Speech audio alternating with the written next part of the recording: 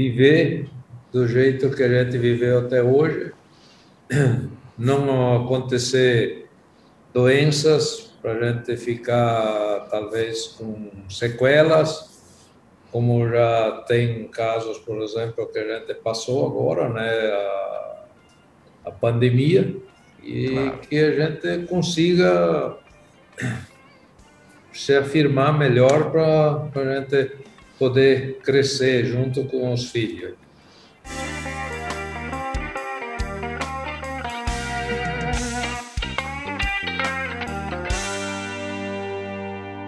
Olá, queridos amigos, homens de prata, mulheres de prata que nos seguem, nos acompanham. É um prazer de dividir esse momento com vocês. Hoje nós vamos fazer uma entrevista diferente nós vamos conversar com duas pessoas, dois irmãos, dois irmãos que se arriscaram e desbravaram esse Brasil e hoje fazem parte desse monstro que é o nosso agronegócio, principalmente no centro-oeste brasileiro. Eu tenho um prazer de receber José Crestani e Hildo Crestani, que são fundadores do Grupo Crestani do Mato Grosso, e hoje tem muita coisa para contar para a gente, desde o início, há 40 anos atrás, até hoje, quando já estão no período de sucessão.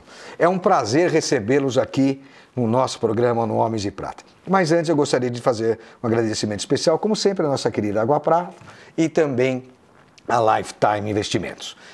E para começar, quem são José e Hildo Crestani? Por favor, se apresente para nós.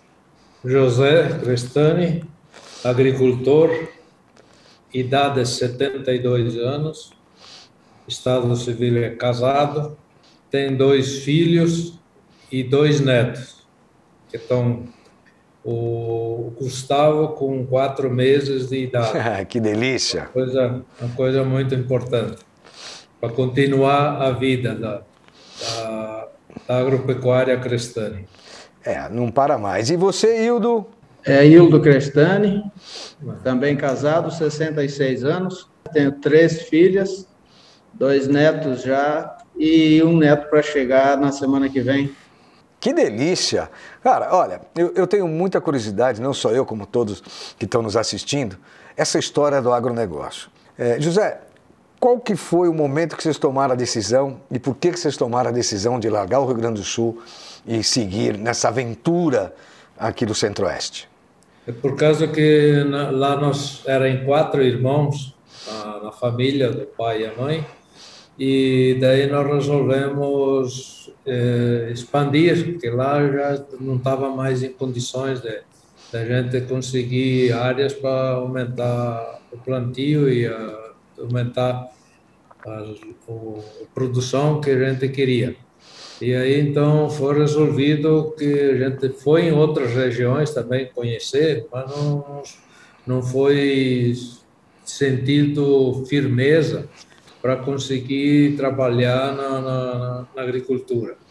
E aí então teve numa época que o Hildo veio para cá e daí então ele se sentiu com mais firmeza de, de a gente vir investir aqui no Mato Grosso, na região de Tangará da Serra.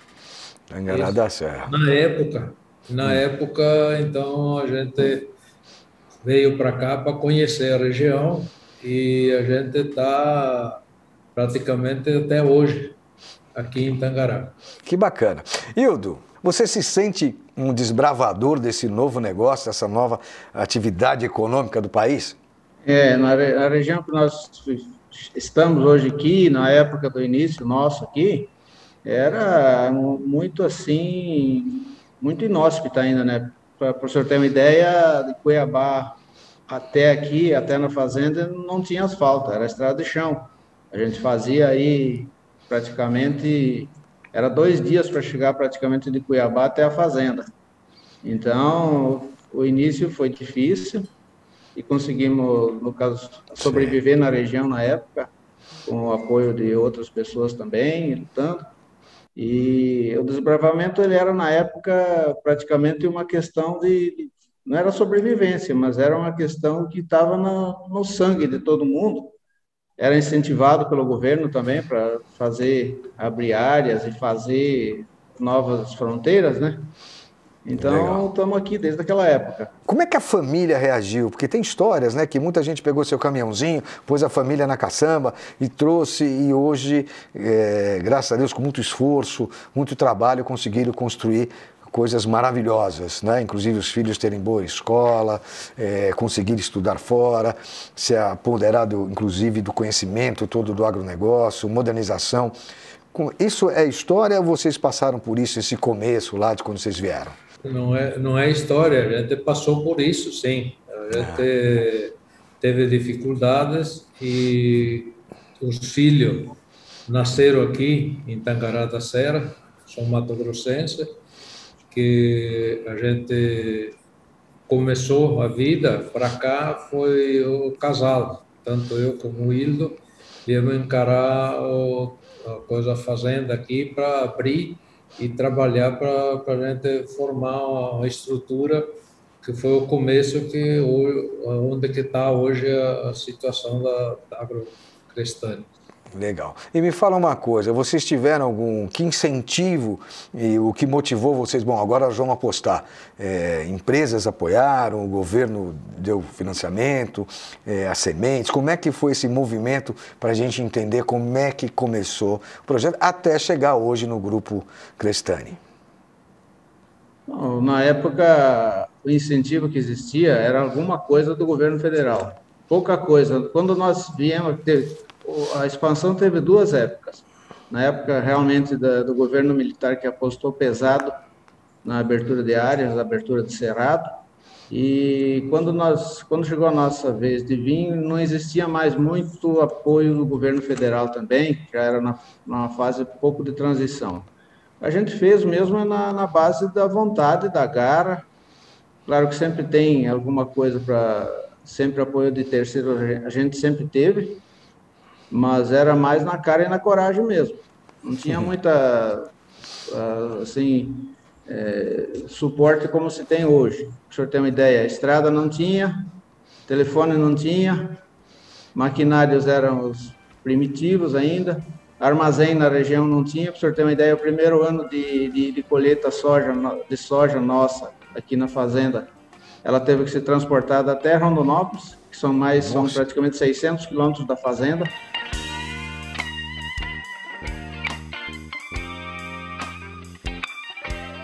Como é que a família, se tiveram seus filhos aí, como é que foi que eles encararam esse desafio nesses anos, principalmente nos primeiros vai, 10 anos? Como é que você acha que, é, dentro dessa formação do grupo, tudo, os, a família encarou isso com vocês?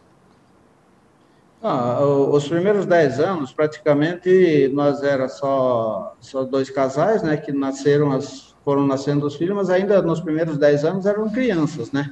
Uhum. Aí, então, era uma coisa que criança tudo assimila mais fácil, né? Aí depois veio se passando, vieram crescendo, as dificuldades também foram aparecendo, foram vindo, mas sempre se mantivemos, se manteve coeso, que, que se tornaria, eh, era mais viável como ficar junto do que separado, né? Então foi se, se crescendo, foi tendo dificuldades no meio do caminho, até se chegar ao momento de se tomar uma decisão.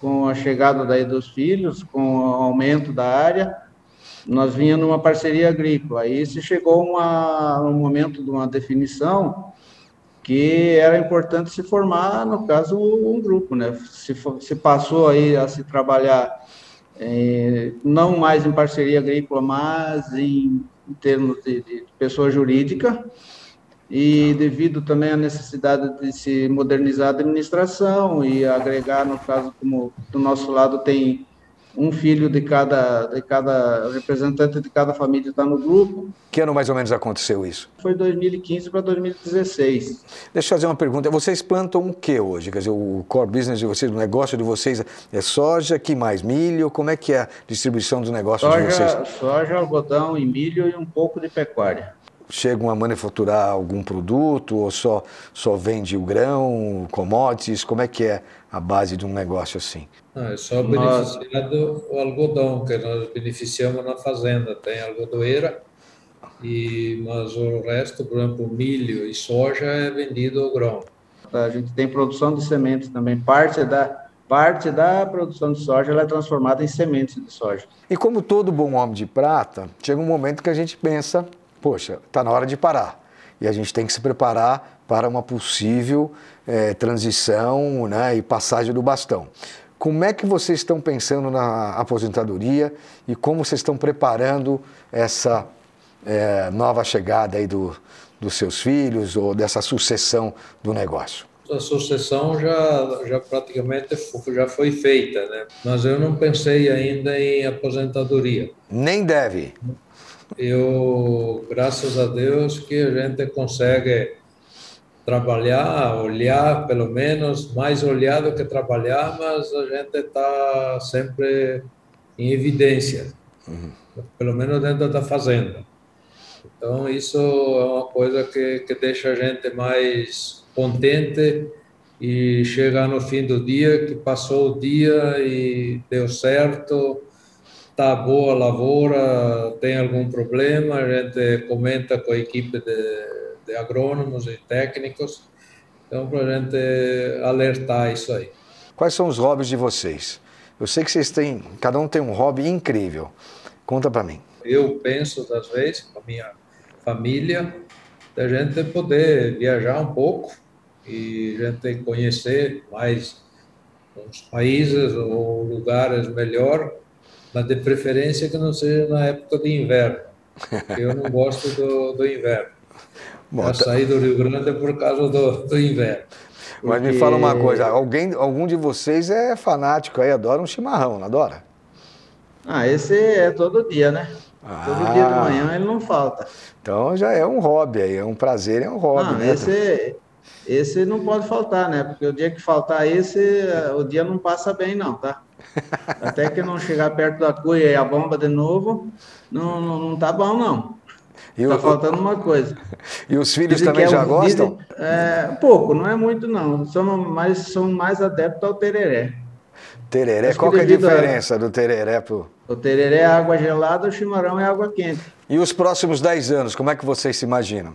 Vivendo do jeito que a gente está e passando, a, mostrando as coisas importantes e boas que está para vir para a família, os filhos, por exemplo, a gente pensa que é, é o que eles, para eles se manter e, e, tocar a vida de cada um, que todos eles vão casar, vão ter os filhos deles, quem sabe seja uma, uma empresa familiar de, de, muitos anos. Se hoje tem 40, chegar a 100 anos. Que bacana. Acho que isso é uma coisa importante. E dá para chegar, né? com todos, tudo que vocês estão deixando, tudo bonitinho, com tecnologia, com conhecimento, Chico. E você, Hildo? Mas claro que tem vontade de. Vai, vontade não, acho que até a necessidade de, de diminuir um pouco o ritmo e ficar mais na, na, na, parte de observação, na parte de acompanhamento de longe, mais longe um pouco, para ir deixando o barco andar meio por conta deles, né? Que bacana. Mas uh, eu não tenho ainda assim essa visão exatamente formada, dizer, ó, daqui a dois anos vou fazer isso, daqui a três vou fazer aquilo, daqui a cinco vai ser assim. Não, eu não, eu não vou, não vou conseguir responder essa pergunta para o senhor. Tá legal. Obrigado pelo senhor. Vocês são os primeiros do agronegócio vir aqui. Eles dão prazer de receber vocês, ter tantas informações gostosas, de jeito gostoso de conversar, o jeito do campo o jeito que, apesar da tecnologia, vocês não perderam as raízes. E isso, para a gente aqui dos Homens de Prata e todo mundo que está nos assistindo, as Mulheres de Prata também, é muito legal e muito importante. Gente que faz gente. Vocês são do bem. Muito obrigado pela participação dos dois. Fico muito feliz de recebê-los. Foi assim, ó, emocionante e bem legal. Obrigado vocês dois, viu? Nós obrigado. que agradecemos. A gente agradece a equipe aí de vocês. Aí. Tá bom. Obrigado.